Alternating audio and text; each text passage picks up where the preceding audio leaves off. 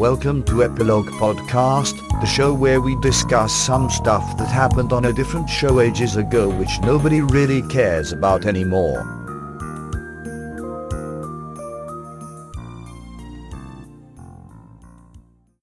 Hello, I'm Portponky. And I'm LeBloc. Today we're discussing Farscape Season 1, Episode 3 Exodus from Genesis. Moya suffers a parasitic infestation whilst hiding from a peacekeeper commando unit. How did you find this episode? I like this way more than the previous episode. It was more action oriented. It's more exciting, there's a greater sense of peril, and it accomplishes things that the previous episode wanted to do, which is kind of change shift the perspective that you usually see in sci-fi shows as far as humans. Last episode they were devalued and then here they're devalued again and also just to remember that we're not always the heroes, we're not always the best, even though we like to think of ourselves that way. We might actually be the worst. this one did a better job of making John seem kind of rubbish, but because he's confused. But well, he might be rubbish anyway. Uh, it, I think it, it had more of the kind of fish out of water situation for him. The previous episode would have been confusing even if he knew what was going on because it was confusing. Well, they're all out of their elements. Uh, doubly so for John, though. I say that because he complained about it. He actually said this. I liked when Zhaan said, uh, "There's so much new information for you to assimilate. Sometimes the smaller smaller things will elude you."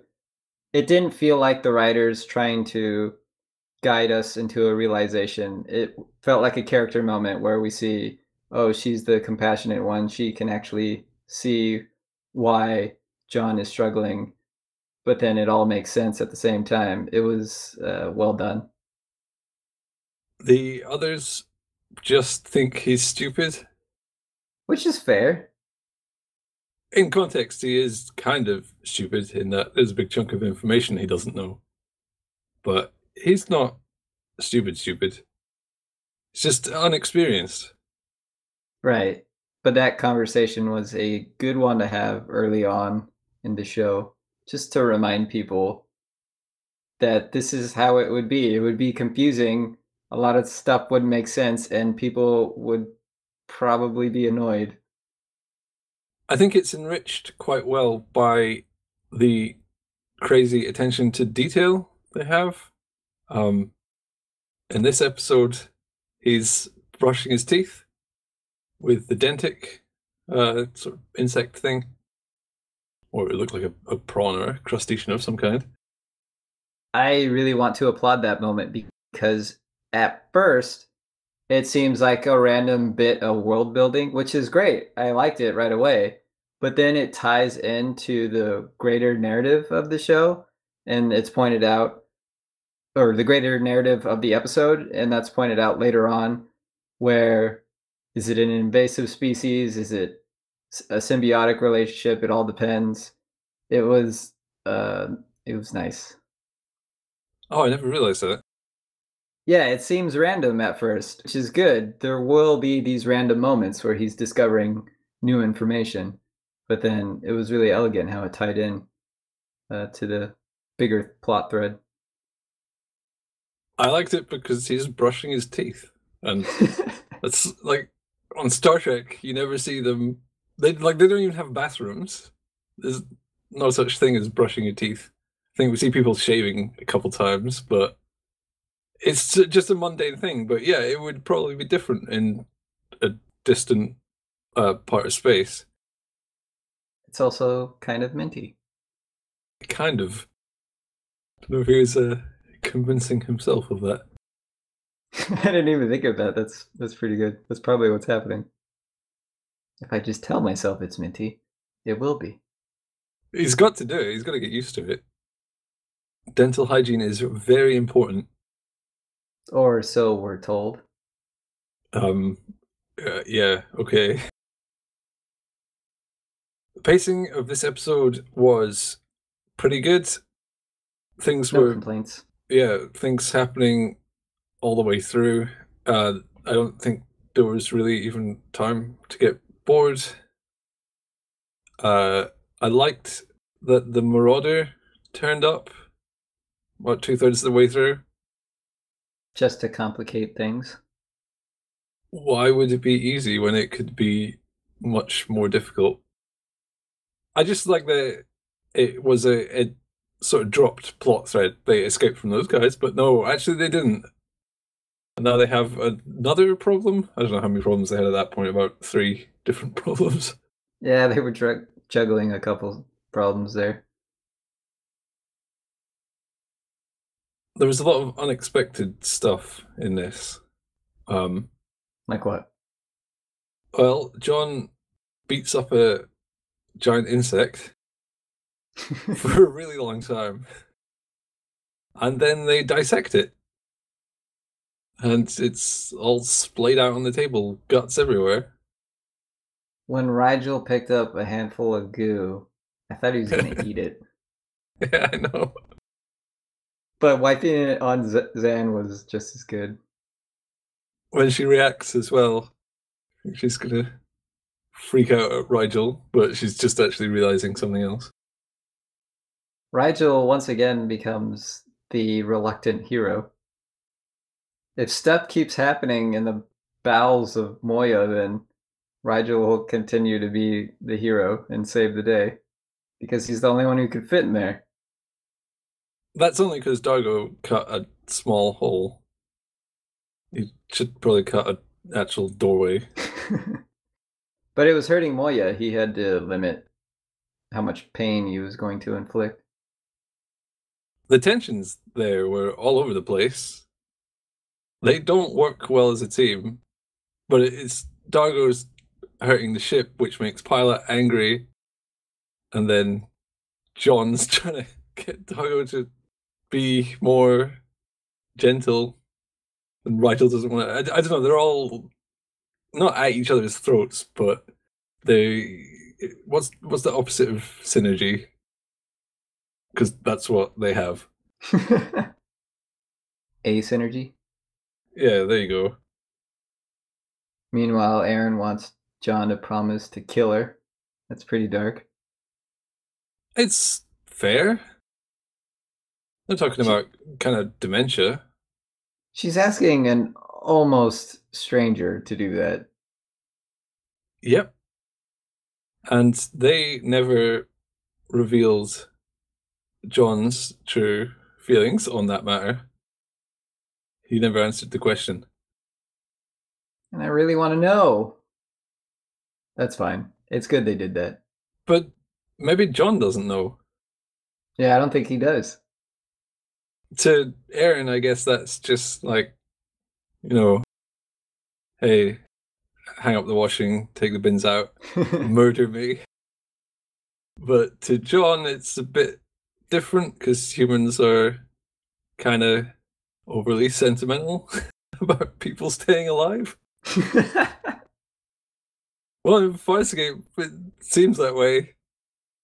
you could see it in his face that he had no. Well, maybe he would have killed her if it gotten to a terrible point, but in his face, this is totally me reading into it. I but I saw. I'm not going to promise anything, and I hope it doesn't get to that point. So then it won't even matter. Yeah, just don't consider that possibility. Block that from your mind, and we won't have to think about these difficult emotional problems. Another unexpected thing is that John ripped Aeryn's arm off when it was Bug Aeryn. That was pretty gross. Well, not gross. Unexpected, as you said. It seemed like it was played for laughs mostly. I find it kind of funny. The, real Aeryn walks in and says, Crichton, what are you doing? like it's something he's done. And D'Argo's wobbling the arm back and forth later on. he is? I missed that. Yeah, in the background when they're looking at the um dead Aeryn clone, he's got the arm. It's I was so- so focused on the clone. I missed that. he's sort of shaking it a bit, it's wobbly. In the past, many times you've talked about how they do split screen effects where two people look at each other but aren't really focusing yeah. on them. Farscape hasn't held out long. It's straight into the multiple characters thing. I thought it was done pretty well. What did you think? It was mostly fine. There was when he's fighting himself, I hate the quick cuts and the close cameras and then the fighting's kind of incomprehensible, but they have to do that if they want to convincingly pull off, oh, he's fighting himself. I mean, there are limitations there. But overall, I think they did fine. It always gets tricky when you have the same character twice. And it always happens in sci fi. It's easy to cook up a reason for there to be multiple people in sci-fi. Yeah, space insects infected your living ship, took your DNA, and made replicants. And they also replicated your clothes. And apparently, D'Argo's sword. John got his butt kicked by pretty much everyone. it happens. It's quite a lot. He doesn't know how to space fight yet. Well, he learned because he got into a fight with replicant Zhaan, and she she roughed him up. He beat replicant Aeryn, pulled her arm off, and then he ripped his own replicant head off, and was carrying it around. Good trophy. Was that good? Would you really put that on your No. mantelpiece? Uh, your No, I would not. I don't want to see my own head uh, atta- unattached from my body with lifeless eyes. Well, I guess lifeless or lifeful would be bad. Either way, my head. it's not the quality of the eyes that's the problem. The whole head thing. Yeah, the whole thing, the whole bit. There were no Rygel clones though, As far as we know. and no pilot clones either. Although I'm not sure if that would even make sense. We did get to see Pilot up close, uh, interacting with Aeryn. Pilot continues to look cool. Uh, there's uh, no doubt in my mind when I'm watching the screen, it just looks like an alien. I, I should say he looks like an alien. It, it's a puppet. It's just with robotic arms and stuff, but it looks fantastic. I might be biased. Yeah, you might be, but I agree. But there's something in this episode that did not look fantastic, and it Whoa. looked awful. You predicted my segue. Yeah, so Rygel got a bit of CG, CG treatment. And oh man, it is bad. It's really bad. Why did they do that? Uh, they needed him to walk in the pipe. But why? Uh, I- it seems like they could work around that with camera angles and the puppet and not do what they did. In retrospect, I'm sure they would have, because it really doesn't look good. Maybe they thought it looked really good at the time, and that's why they did it. With TV shows, often these CG shots come in weeks later, and they don't have time to uh, redo them, or Oh, they they yeah. couldn't switch it to going back and shooting it because the sets and the the kind of alien hive has probably been dismantled by then or Right. destroyed. It's not the main set without modifications. It was some special thing. even then, I don't know if they could shoot stuff after the CG comes through when they're on a TV schedule. It's like way further on in the process when they get CG done.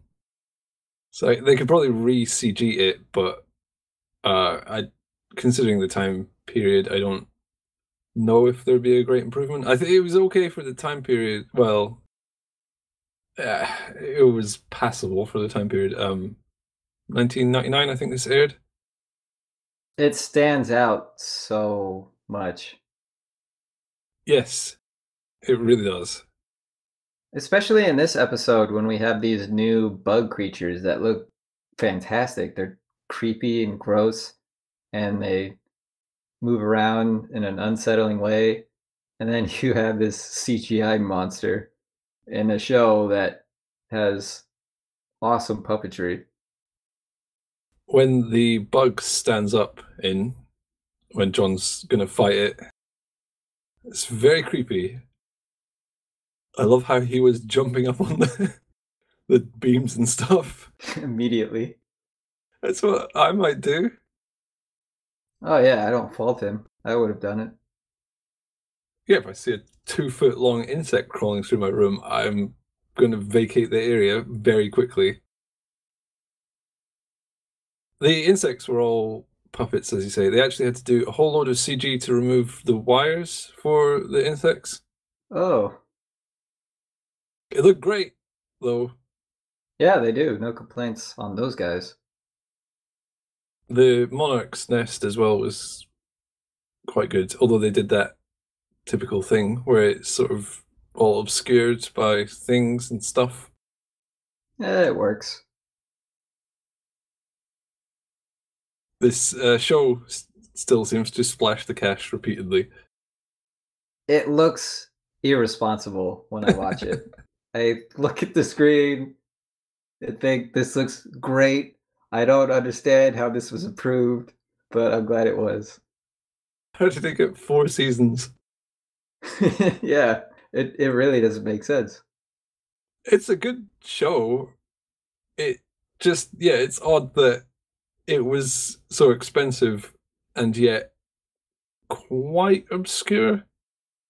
Um, I don't think it ever really cracked that mainstream appeal that I think it wanted to. It had a lot of fans though that it was a much loved show, but I'm guessing most of the fans were sci-fi fans to begin with. Right. And I love the show. I'm not saying it's not worthy of having money spent on it, but that's a huge gamble for a television network. Let's throw all this money at this new property that no one's ever heard of and hope it does well. It was partially an investment to prove that Henson puppetry was capable of doing all kinds of crazy stuff. That is certainly true. I think the idea was that because this show looks so great that that would be good for them in the long run. I don't know. Maybe it's not as expensive as it looks, but I do often think this show is slightly uh lavish. Dargo is a bit stupid in this episode. Why? Because he wants to kill bugs? See why they want to cut their fingers off. It's a solution. He was spitballing, getting the ideas going. He didn't raise it as a suggestion. He said, We will all cut our smallest finger off. He also advised Rygel very uh, wisely. I have some unit news. Ooh. This episode gets docked quite a lot of points because they kept saying hour instead of Arn, Ah. and the Peacekeeper Marauder can go Hetch 7, which John compares to Hyundai. I'm guessing that's the kind of car that's not very fast. That was a weird reference. I I don't mean, know anything not- about cars, so There, uh, uh, yeah, I don't. I'm aware of Hyundai, but I don't think of them as makers of slow cars. were they they are. 20 years ago though? Oh, right. I'm not thinking of their reputation a long time ago. In your version of the episode, did John tell Zhaan he would rent her a copy of Animal House? Yes, he did. Okay, that was originally cut from the US broadcast Oh, uh, for, I think, time reasons. that reminds me that I'm glad John keeps referencing Earth stuff because it's what he knows and it's familiar to him, and he doesn't know how not to talk like that, even though none of that stuff is translating. He doesn't seem to care. Right. I, I think he does it to satisfy himself because he knows it's not helping. That's the only thing he has is pop culture references. Maybe he knows nothing about cars, and he said, "Yeah, it's a Hyundai." It's like that's a type of car. They won't know what that means. They'll just assume I'm brilliant. Were you listening to the music? Mm, no. Well, Okay, I mean, not actively. I'm sure I heard it. there was some cheesy sort of porno jazz music going on Uh, okay. for like quite a long time. You know, like uh drop bass synths and stuff when he's before he fights the bug. It's kind of it's weird and alien. It just felt cheap, almost out of place. I must be really good at ignoring these awkward music cues because all the ones you pointed out I did not pick up on. It might just be because I've seen it a few times and I know the music changes slightly to match the tone of the show eventually. So when it doesn't, I'm kind of brought out of the immersion. I know as I'm watching, I frame this show in my head as this is an old sci-fi show. So I think whenever there's something off-putting, uh, such as music, I dismiss it immediately as just a product of its era, even though that doesn't. I think it what the stuff you're saying probably still came off as weird when it aired. The music is supposed to be weird because it's a weird alien ship. I just, I don't know. If you go back and listen to it again, you might see what I'm saying. Maybe it's just me. Let's just say it's all you. You're the weirdo. Oh, yeah. I could believe that. Zhaan revealed another ability in this episode. Oh, yeah, she can paint. She's a regular Bob Ross, except he never did portraits. I thought it was quite rude that she messed up his painting. Yeah, painted right over it.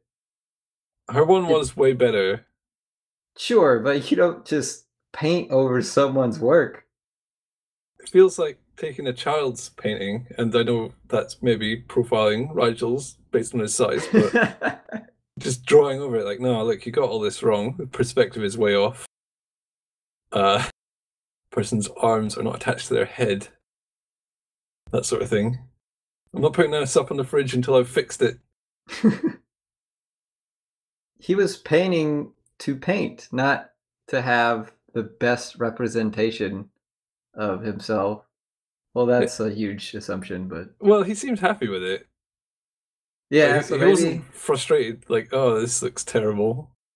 we're the idiots, and that's actually exactly what he wanted. As a king, he probably has an eye for fine art, and her painting was reasonably realistic. I mean, he can paint another terrible looking Rygel. That's probably not that hard for him. but he'll never have that specific terrible Rygel. I guess it was ruined, though. He said it was ruined. But he was Oh, annoyed when she did the spirit painting. Zhaan, you're so confusing. You're nice and compassionate all the time, but then occasionally rude about paintings. Well, she was appealing to his ego. She said, "Oh, look how much you look like Rygel the First. Or I think that was it. Yeah. and then she does that again later. So she was planting the seeds so she could exploit him later. Maybe she's not that nice then. Or maybe we're reading way too much into something which they probably didn't really think about when they were making this. No. Do you have a quote from the show that you'd like to share with us? Time and patience. Is that your answer for everything? Yes, because it's always the right answer. What if you're defusing a bomb? Then you need time and patience. Uh, well, that does make sense. Yeah, because you need more time and you need to be patient so you don't clip the wrong wire and explode. You may not have more time though. But that's what the answer is. Oh, more yeah, time. it would that's still what you need. What if you're serving a prison sentence? Oh, you, You need patience, yeah. patience. Well, you don't need time. You've got plenty of that.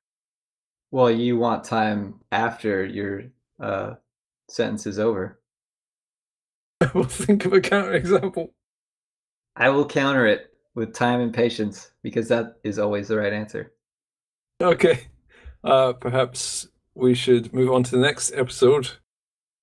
We are still in the midst of rearranged stuff. So the next episode is called Thrown for a Loss. Do you know the best way to watch the next episode With your whole body? with time and patience? Oh, okay, right. That's wearing thin, so I'm gonna cut You need more us patience. out of time. The, the end.